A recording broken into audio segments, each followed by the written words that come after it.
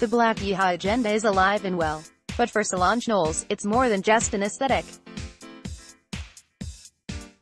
It's a genuine lifestyle she showcases for the world on her latest album, When I Get Home, a love letter to her hometown of Houston, Texas.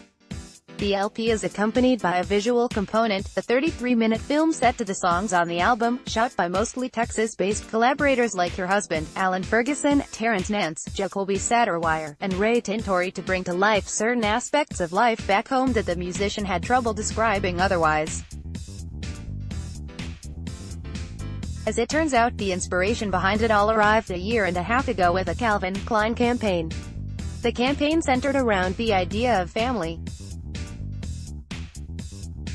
The overarching message of the campaign has family at its center, a display of unity between strong individuals, further emphasized by the symbolism of the traditional American quilt, a statement from the All-American brand read in 2017, when the campaign was released. Solange curated the campaign, choosing our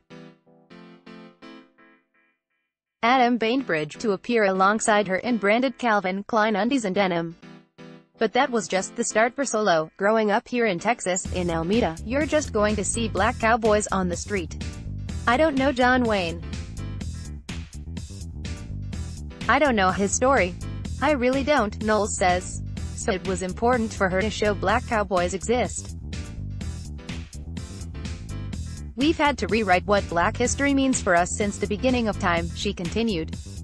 Her visual component to When I Get Home is meant to express the culture that shaped who she is as a person.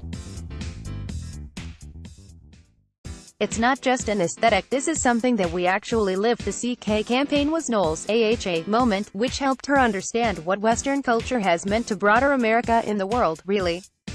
Antwaun Sargent, a writer and critic who interviewed Solange after her film's debut for Sunday's live stream on Black Planet, made note of the rise in the Black Yeehaw aesthetic on Twitter with a now viral thread.